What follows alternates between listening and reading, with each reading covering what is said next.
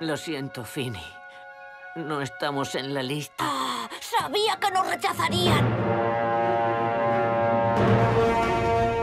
El arca de Noé es su única salvación. ¿Estás seguro de que esto funcionará? Subiremos al arca. Ya lo verás. Este no es mi marido. ¿No sois los únicos que queréis embarcar? Por aquí, señor y señora Grimm. ¿Lo ves? Te dije que subiríamos al arca. Esto no es el arca. ¿Qué? ¡Esto no es el arca! ¡Cógete fuerte! ¡Finny! ¡Eh! ¡Esperad! ¿Niños? ¿Qué niños? ¿Dónde está mi hija? ¿Finny? Oh, oh. ¿Lia? ¿Finny?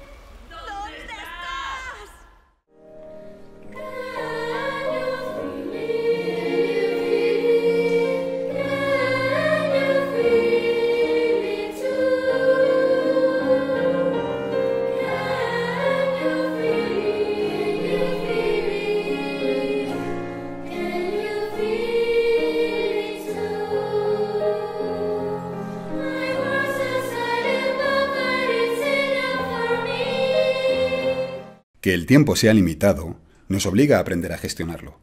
El tiempo que invertimos en hacer cosas que no son importantes se lo quitamos en cosas que sí son importantes y no podemos recuperarlo.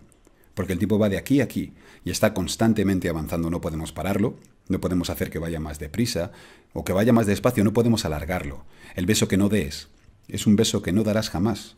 Vendrán otros detrás, pero en tu lista aparecerá un beso menos de los que pudiste dar. Y no estoy hablando del rollo poético, cursi, romántico, de besos, sonrisas y abrazos. Estoy hablando de todo lo realmente importante que no hacemos porque despreciamos eso que sabemos. Y es que el tiempo es limitado. Quizá la lección más importante de todas sea aprender a gestionarlo. Sin embargo, no nos lo enseñan en el colegio. No se oferta en los estudios universitarios, así que tienes que aprender a gestionarlo tú sola, barra, solo, probando. Lo que no te haga sentir bien, no lo hagas. Lo que te haga sentir bien, hazlo. Yo sé que es mucho más fácil decirlo que hacerlo, eso está claro, pero al menos hay que intentarlo.